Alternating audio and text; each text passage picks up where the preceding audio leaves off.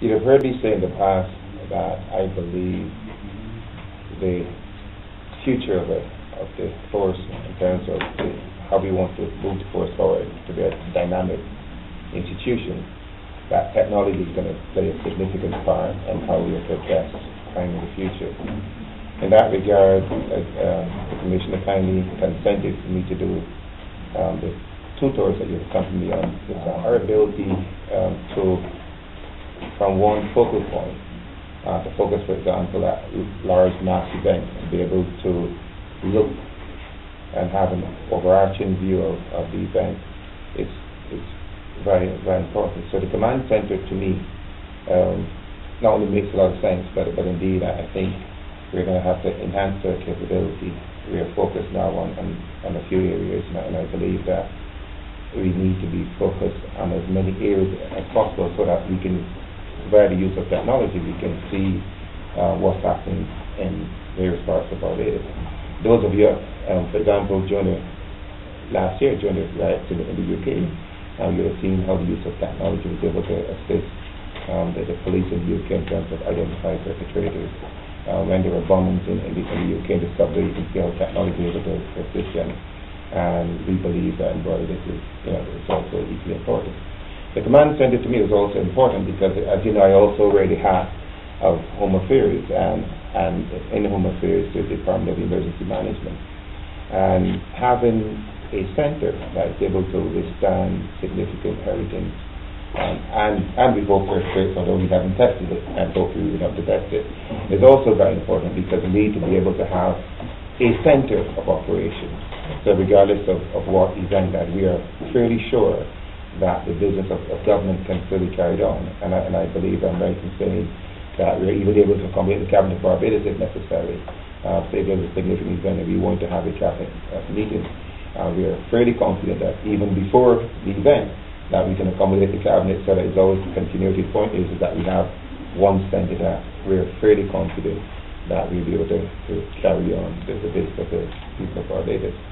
Um, in addition, you here you will just have witnessed the PROMAT um, system. Um, this system, as, as you know, uh, will, be used uh, for video identification. Um, we've been having challenges in terms of volunteers uh, for ID parades for various reasons, um, and cost is not least of, of, them. In the in the old days, people volunteered. Um, today, you have to pay them for almost everything that they do. But and and of course you'd have heard that one of the challenges that, that we have is that accused persons are, are sometimes not willing to come forward to do um, ID. Um, through the PROMAT system, we should be able to address this. It's actually a very fair system because, as you, you would have seen from the demonstration, that we're able to to provide eight um, eight individuals who similar in, inbuilt characteristics to any to any accused person. Um, the accused person would, would have an opportunity to, to determine the order in which the parade can, can be addressed. The accused person indeed will be accompanied by by his or her attorney uh, before they are. So, so the process itself, um, we believe will be, will be transparent, and not only not we believe, we are confident and will be transparent. Um, you would also, and I hope that I've omitted this, you would also um, have witnessed the video suite at District A. One of the things that you have been hearing around Barbados for many, many years is accused persons saying that confessions have been coerced. Um, we believe that, that in fact, that again, through the use of, of technology, both of audio and video, um, that, that should be a thing of the past. We, we have one or two challenges um, from the point of view that not enough suites are presently available, so I, I believe the onus is on, on my department um, to look to see how quickly we can we can take this forward. Presently, there are five, four, five suites that are, that, are, that are available. And it creates a challenge in terms of the number of suspects that we have to be interviewed at any one point in time during the course of the day. Um, so the present recommendation to my department is, is, that, is that in fact that we use it presently for the more serious offences. We need to look at that and, and examine whether or not we can, we can go forward.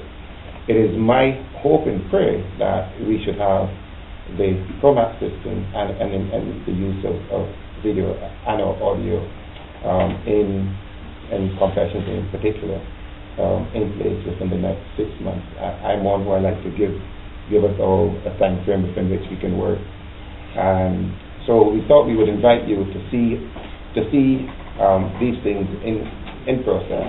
Um, and indeed, um, so the public of Barbados can, can know that what we want to do here at the Royal Barbados Police Forces has a transparent process. It's, obviously any changes to the, to the Evidence Act um, that might have to be a- addressed, or any other piece of legislation um, will, will have to be done. Um, and it is February. I think realistically six months to, to give us a good time, time frame to have the legislative and the physical environment uh, addressed. We would want to have at each police station, at at every police station, which means, of course, that some physical changes has to be done. One, one of, um, some retrofitting, one of the things that you would, you would have seen just now is the fact that we will, we will want a room specifically for that use only. Um, there's an issue in terms of, of noise and, uh, so the location of, of the room is important. Um, also because of the use of the, of the electronic equipment. So there'll be some retrofitting, but any, any new police station for sure will automatically have that facility. Um, as I said, there are about four or five suites available. Um, I, I believe that we now just need to look at the other police stations and, uh, and address them. As they did said, um, this has been in the works for several years. Um, there are frequent complaints, like you said, that confessions are coerced um, um, suspects and so on. And you know that in the past too, the U.S. State Department has come, uh, commented very negatively on, on this issue that um, suspects complain that they're beaten and so on to get confessions. And so the part of the legislative frame is there, but we've been constrained from going forward because of the absence of the chief. We made some progress now, but like I said, there are five, and um, as the AG was saying, we are hoping um, that we'll be able um, to start perhaps with the more serious offenses, certainly the capital crime of, of murder. But we have to take some, some legal advice on that as to whether we can go with those offenses or whether um, Parliament would want us to go with the full panoply of. I don't believe there were any changes to the police complaints authority. We may have discussed it in terms of doing a supplementary. Um, the authority is, is up and, and functioning. Um, we had difficulties identifying the, the, the right fit in terms of an investigator. We have addressed that. Um, we have been working with the police force as a whole in terms of, of addressing um, complaints. There is a bit of a backlog from what I was told recently, but it is fully functioning.